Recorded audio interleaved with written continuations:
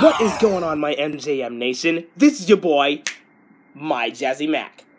On August 1st, 1988, a group of kids gathered at their garage to set up a little birthday show for their father, and with no amount of time left, they got no clue of what to do. Until a big purple dinosaur came to the rescue, and the big show became a big success and it has become the loving sensation we all know and love over the years Barney and the Backyard Gang. Ladies and gentlemen, welcome to Barney and Friends 30th anniversary. Wow, Barney and Friends is 30 years old? Man, does time sure fly.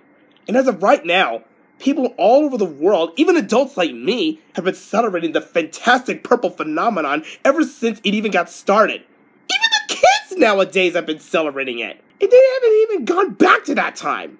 But anyway, as of right now, the Play Along Gang and I are happy to present the very final release of the very first video that Barney and the Backyard Gang ever published on video. So sit back, relax, subscribe, like, feel free to leave a comment, and enjoy the video.